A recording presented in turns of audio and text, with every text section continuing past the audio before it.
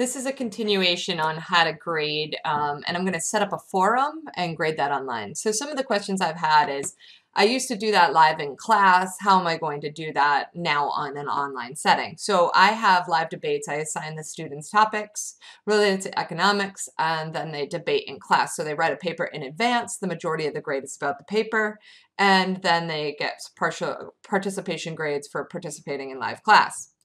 So I'm going to go ahead and show you the uh, debate rubric and the online worksheet. So here was the worksheet that I used to have. So I used to say, this worksheet is for a debate topic. You get to choose your opinion side. So I assign two different sides and you get to choose.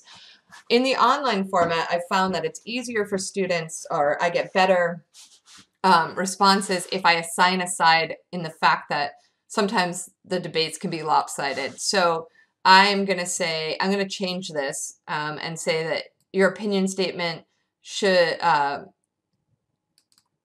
your opinion statement should support your assigned debate side. All right.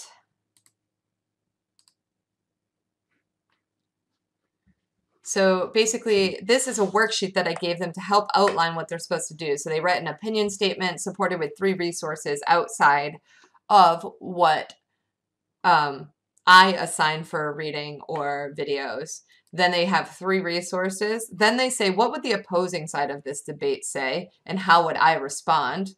And they do that twice, two of those, two opposing side arguments and your response.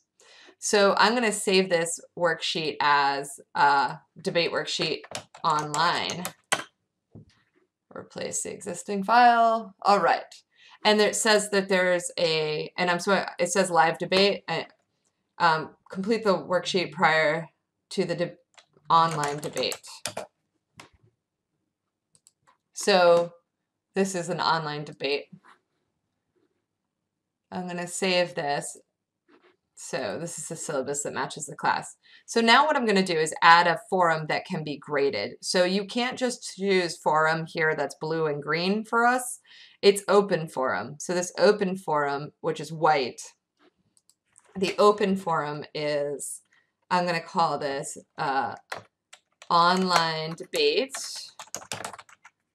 And I always put the due date at due 4-3-2020. I already typed up um, content for this debate, right? So now I'm just going to post that. So this online debate topic in this class for this is going to be increasing minimum wage. The goal is to argue, make an economic argument for or against increasing minimum wage. So they're going to be assigned, assigned to the pro or con side. Then they have to give arguments for the opposing side. They also have to, so pros of increasing minimum wage to at least $15 an hour, it's good for the economy, or no, increasing minimum wage is not good for the economy. Then I assign them the videos and articles to read, and I'm going to display this on the page. It's going to be a standard forum. Post options, I am going to allow them to, um, I'm not going to display word count. I'm going to allow them to have attachments and then grading. So I am going to grade this. I'm going to manually grade this.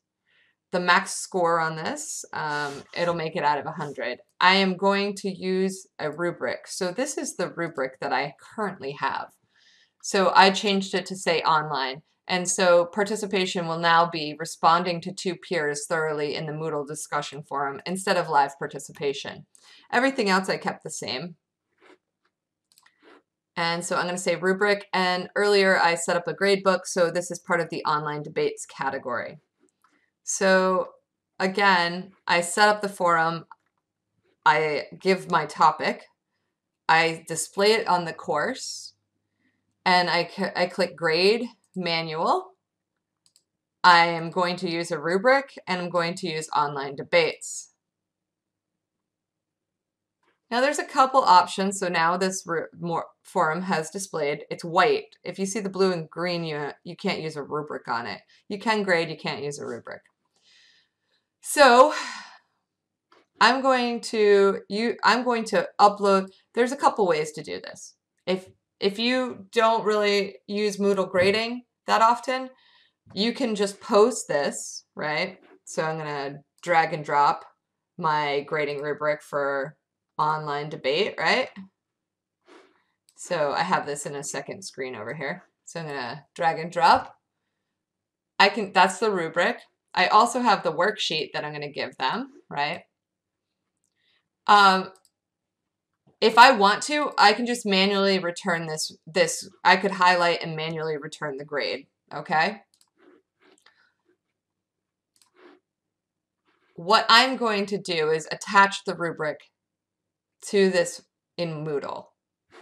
So now you see the online debate. You click on the forum and you're going to right click on the gear icon. You're going to click on the gear icon and you're going to hit, it says advanced rubric grading, define the rubric. This is because I chose rubric.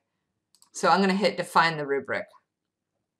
So I'm going to bring up my rubric. And so I'm going to call this debate grading rubric. Okay. Then I'm going to give the details. This is the debate. This rubric is grading. So this is, I'm just copying and pasting. What is this grading? So this rubric is evaluating your debate worksheet and participation in the online debate. Okay, so this is the name of my category, organization and clarity. So criteria, organization and clarity. I'm just going to post that. Okay, then whatever I have in here, so zero, I'm just going to say not completed. I'm going to leave zero even though it's not in my rubric. Otherwise, you can't give zeros. And then it goes in the opposite direction of mine. So number one, I'm just copying and pasting. So copy um, the words I have about what a number two for organization and clarity is. If you have four levels, just add another level. You can change the point values right here. So you could change that to five or 10 or whatever you wanted to change that to. Three, most of the resources, in my opinion, are clear. And then four, here. Now I have more categories, so criterion. Use of the argument. I'm going to post that. Then I'm going to start with under zero, not completed. Zero points. Then I'm going to move on to number one. Number one, uh, just remember to go backwards if you're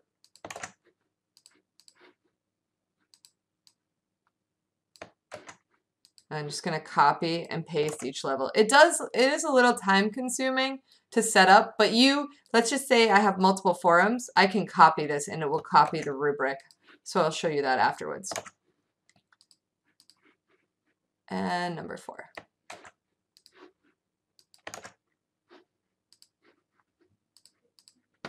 Now I'm going to use of examination.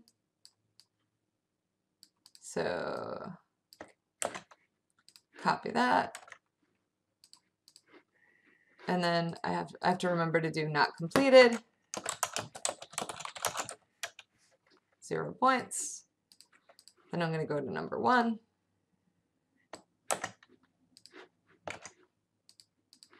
Number two.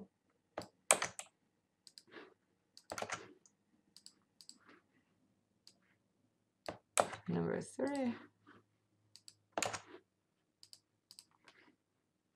And four. I could add more levels if I wanted to. I don't need more than four, so I'm going to keep going down. So sources.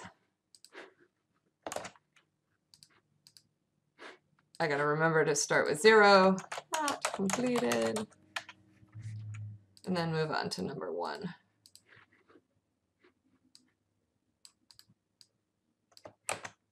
I'm just copying a rubric I already had created.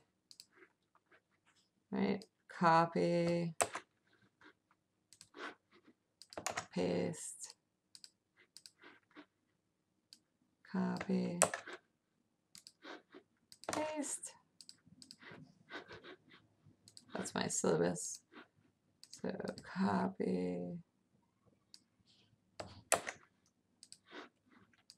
paste. And my final participation. Not completed.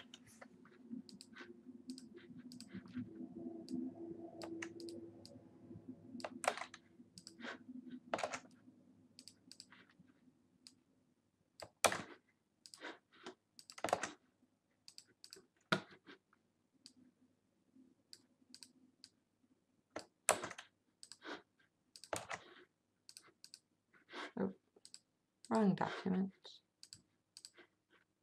And there we go.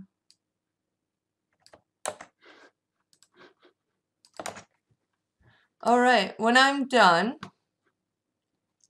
I didn't change anything, point values, everything. I'm just gonna have save rubric and make it ready. Now you can see what it looks like. This is what the students will see when they go to submit.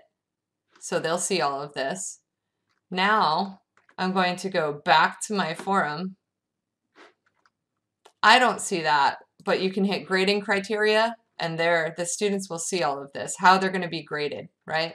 The students will just see the rubric. And then they can add a new discussion here. And then if I wanted to grade this, I could go to my test course. I'm going to go back to my front page. And I just use Open Grader. And I'm going to go to online debate. There's no one here, so I don't have any students. So if I did have students, um, the it would say grade with rubric. So I'll have to add a student in my next display and show you how to grade with the actual rubric. Um, but this is how you set up the rubric.